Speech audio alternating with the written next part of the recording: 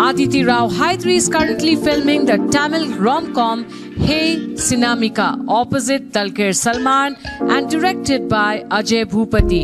She will also be seen in the upcoming action drama Mahasamudram. The film is set for theatrical release date on the 19th of August 2021.